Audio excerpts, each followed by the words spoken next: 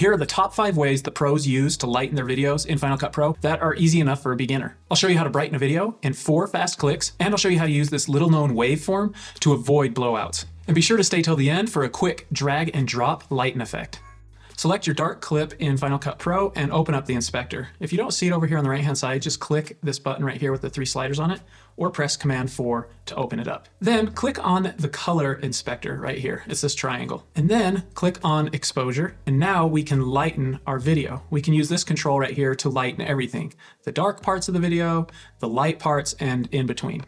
So you'll see it's getting lighter. I can also increase the brightness of just certain parts of the video. So we'll do our highlights here with this control and we can do the midtones a little bit to brighten it up. And then this are the shadows, the dark parts of our video. I can also click and drag up and down on these numbers down here to change the value.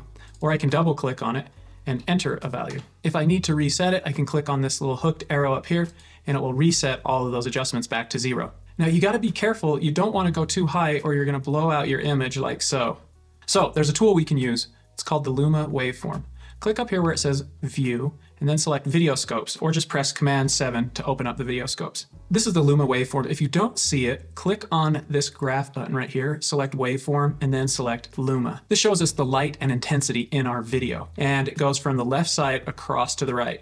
You'll see we have a bunch of blue right there, and that matches up with the blue over here on the left. You want to do your best to keep your values in between 0 and at most 100. So let's play with this and you'll see it move. I'm going to use the global parameter and I'm just going to bring that up and you'll see I'm moving all of it together at once. If I just bring up the highlights, you'll see just the top part moves up.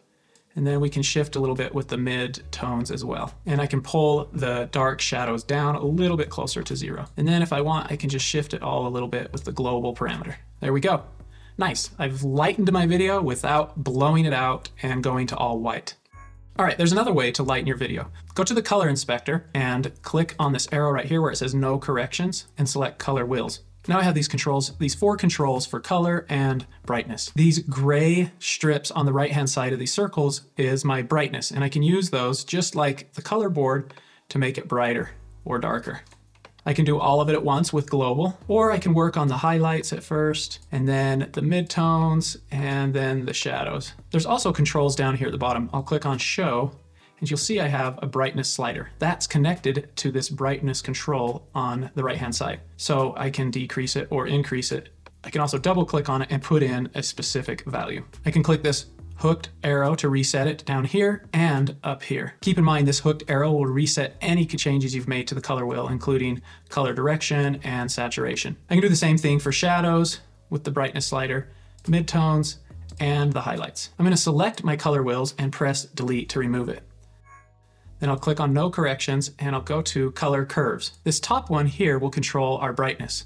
If I click and drag on this circle, I can make everything brighter. And for this top one, if I bring it down, I'll make things darker. I can also drag it to the right and left to tweak which parts I increase and which parts I don't increase in brightness. If I click on the line, I can create a point and then I can pull that up to increase brightness.